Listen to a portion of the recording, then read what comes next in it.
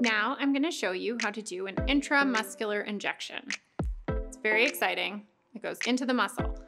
Um, I have my medication all ready to go and all I need is an alcohol swab and my sharps container. So for an intramuscular injection, I always say, just put your hands kind of like you're resting them on your hips and kind of that upper butt area. Upper outer butt is what you're going for. So kind of above the pocket of your jeans. So I'm gonna go ahead and demonstrate this for you now.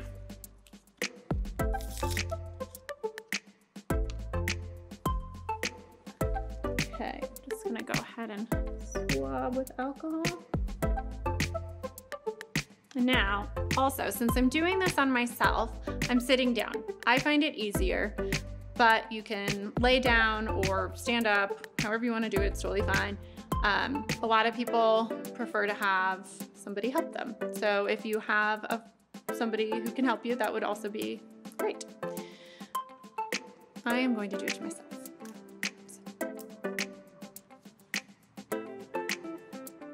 So it's awkward angle here, but we're gonna go right into that upper outer butt like I said, and then just press in. After the injection, you're just gonna wanna hold pressure on the area for about 10 seconds and even massage it in just to make sure that that medication gets absorbed. That's it.